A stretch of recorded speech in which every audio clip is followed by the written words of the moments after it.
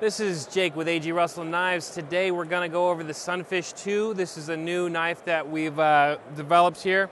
So the original knife is the Sunfish Texas Ranger.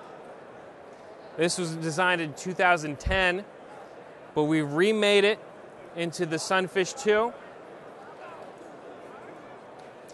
Now the big difference is here. Goldie said Right, AG said that he wanted to remake the Sunfish, and Goldie said, sure, you could do that, but it needs to be a smaller knife.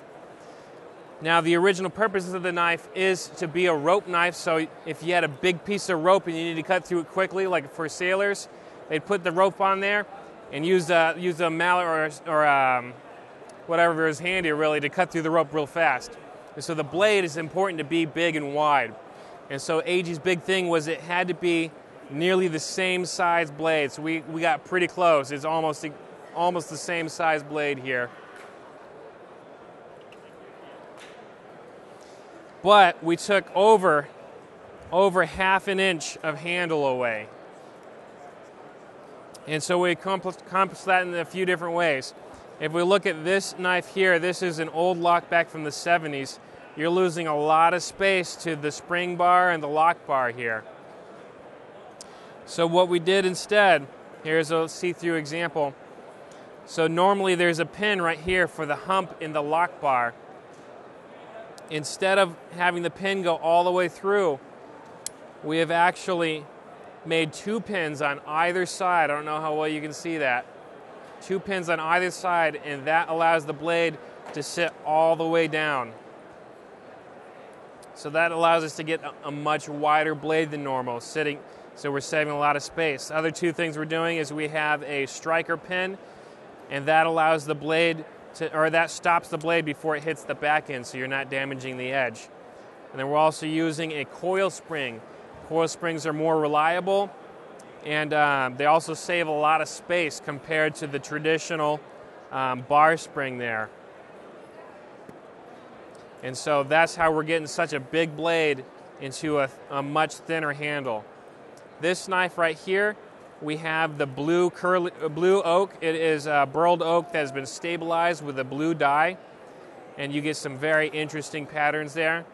We also, and that's coming in at 125 retail. But we also have it in black G10, smooth white bone, and a nice jigged bone.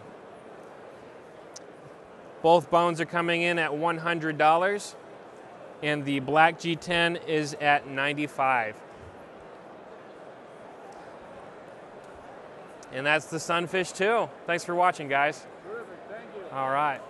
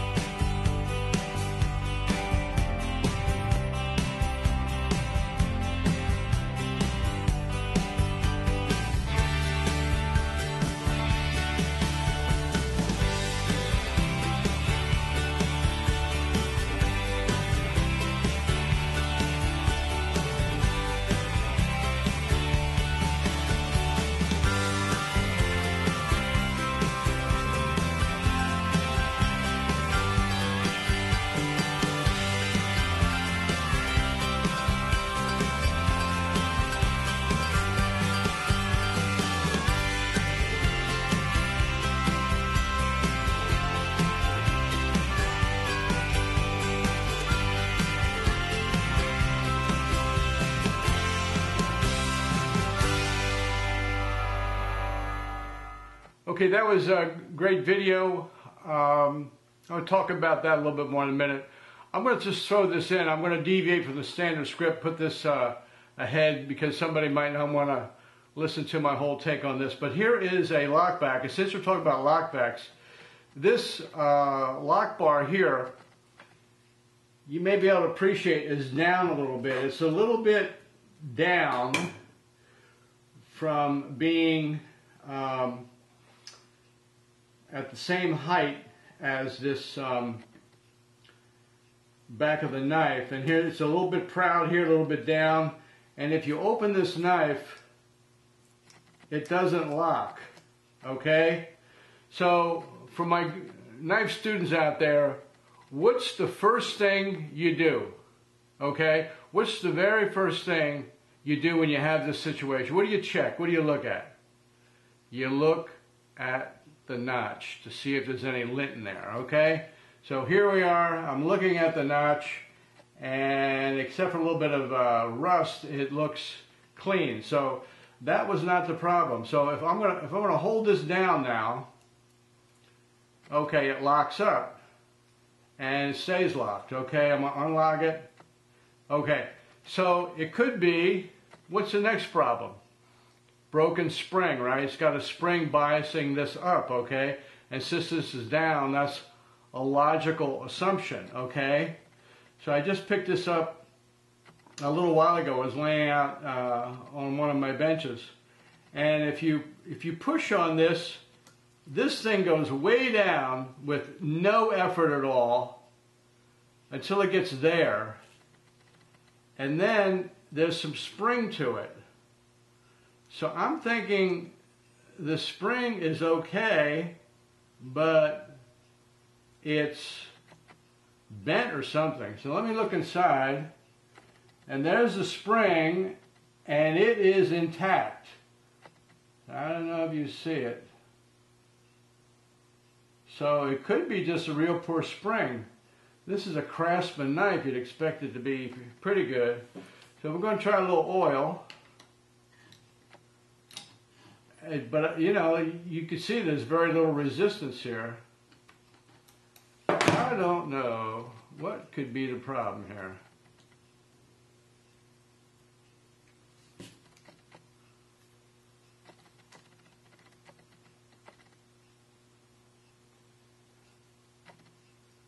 I don't know. I guess it's just uh, a real mushy spring that's down there. So I don't know whether to take it apart and try and fix it, or it's a lot of trouble since it's pinned. So uh, I think I'll keep using it for what it is, a rusty knife. Still got some edge to it probably not bad steel. This is Craftsman USA.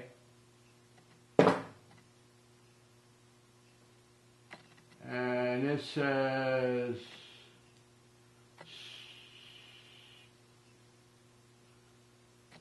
soft, soft grip. Soft grip. I don't know why they call it soft grip. It's pretty hard. Uh, well, there's a mystery I was going to solve, and uh, I, I, either did or didn't. Uh, you decide. Okay, I appreciate the great demonstration we had by uh, the folks at A.G. Russell. And uh, now I'd like to discuss a little bit about my take on the mechanism. And if you're not interested, thank you very much for watching and uh, see you on the next one, I guess. But when I first saw this mechanism, I some just something struck me about it. I was impressed, and I kept thinking. Also, wait a minute, why am I impressed? Well, I'm thinking that it's nice, but it's not a big deal. But actually, it is a big deal. And this is something that um, it just sort of strikes you like, wow, that's stupid. Wait a minute, no, it's brilliant. The lockback mechanism has been around for hundreds of years, and this is a new twist on it. The lockback me mechanism is uh, a very strong mechanism, and what these guys have done is they've taken an ordinary lock bar and that has a basically a pivot running through it and it's got a latch on one end, the front end, and then this tail, and then of course there's a spring here. But what they have done was take this design, this concept, and route this out. They probably just simply took a milling cutter, routed this out, so now there's a space. But if you look on the side view, of course the routed out area doesn't go all the way through. So you have this metal here for strength and of course the other side and then on the back of the lock bar there's still this uh, metal. And what they're going to do with this is they're going to allow the blade to come down into here, this space, and come out. So part of the blade, the blade bevel, the cutting edge is going to go into that. And therefore you're going to get a much wider blade per handle uh, height or width. And uh, what they had done with this is the problem with this is this is a lever and you have to have a pin going through here so to act as a lever. So having this blade come down into this cavity precludes your ability to put a pin through there and act like the fulcrum point of the lever. But what they had done, and actually uh, on the side view, they actually had come up a little bit like that. They put a hole here, so in other words, there's a pivot coming through this side and it's peened off and there's a pivot coming through this side and it's peened off and the blade resides right in this cavity. So that's pretty neat. If you look at that knife, that there is no other knife with the dimensions that that has. The, the height of the handle is much uh, smaller compared to how, how wide that blade is. So it's, so it's pretty neat. So I think it's very innovative, and uh, I, just wanted to put that in. That, that, that my impression when I first saw it was was somewhat amazement. I didn't really know how to process it. And then the more I thought about it, I said, man, this is a really neat idea. So that's that. Now, I kind of got into YouTube videos because uh, my kids said, why don't you uh, promote your book by making a YouTube video? And I, and I said, well, I, I watch a lot of YouTube videos, but how do you make them? And they told me, you know, go ahead and do this. And my first YouTube video, I was plugging my book. And I haven't plugged my books in a while. I mean, somebody just asked me, they asked me a question, and I said, well, you know, this mechanism is like this and like this, you know, and by the way, you know, I, this exact point I discussed very thoroughly in my book or something. And he goes, what, you wrote, you wrote books on, on, uh, on knife mechanisms? well, it looks like I'm slipping here. I got to do a shameless plug in my book. Anyway, uh, this is the first uh, book that I wrote, Knife Mechanisms, just for the fun of it. And uh, it takes a lot of history of mechanisms and how they came about, and uh, a lot of um, assisted opener. Uh, some guy said, "How can we put so many assisted opener?" I said, "Well, you know, at the time they were the hottest thing going." So uh, I got push button automatic in there. Um, the uh, using a through pin. Uh, but there was so many more uh, knife mechanisms I want to get wanted to talk about, and I just sort of ran out of space. That I later came out with book two, and this is really loaded with uh, automatics. In fact, uh, we got A.G. Russell in here talking about one of his inventions.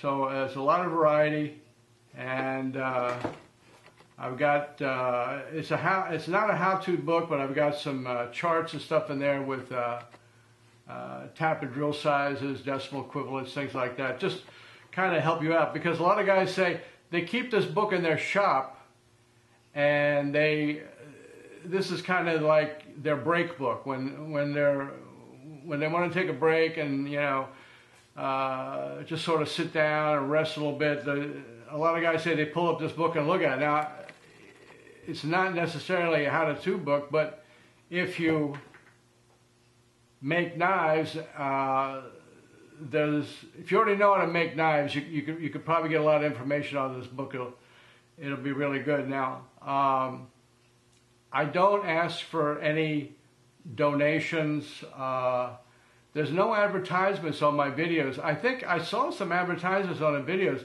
Where they came from, I don't know. I'm, if they're there and YouTube wants to make some money, fine, because uh, I'm glad to give back to YouTube.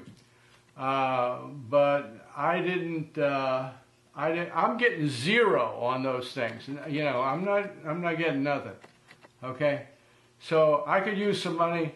Uh, like, you know, I accidentally put the Norton high aggressive uh, uh, abrasive wheel in my uh, in my DVD player by accident, and, and, so I have a real dilemma there. Look at it. This is these things are uh, almost the same size, so I, it was an honest mistake.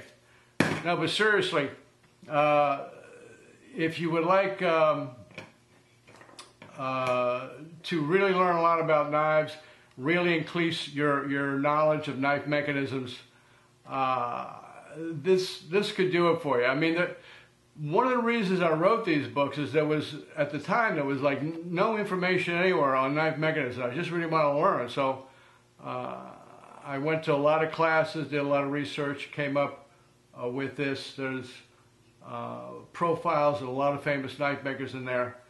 And, um, you know, there's, there's so much information like on YouTube uh, and, and, and the web that it just doesn't make any sense. Uh, you know, people talk about what's the strongest lock mechanism, and they say, uh, oh, it's absolutely the uh, the liner lock, or they say, oh, it's the it's the frame lock, it's the strongest lock mechanism. Well, you know, it's a great mechanism, um, but you know, I did some testing and all, and it's in there. Other people have done testing too, but I actually did my own research, so you might you might find uh, that interesting. And uh, I also uh, did an article in Blade magazine, uh, me and uh, Jake Hoback, uh, on the uh, liner lock mechanism. Actually, I think it was this, the detent pin. But anyway, it was reviewed by you know, the guy who invented it. So I thought that was pretty neat. So uh, I have a lot of fun with this stuff. I hope you have fun too. Um, and I appreciate if you want to take a look at those books. You come to uh, my website, um, knife mechanisms at uh, gmail.com. if you have any uh, questions, but it's also sold in a lot of places. Okay, thanks a lot.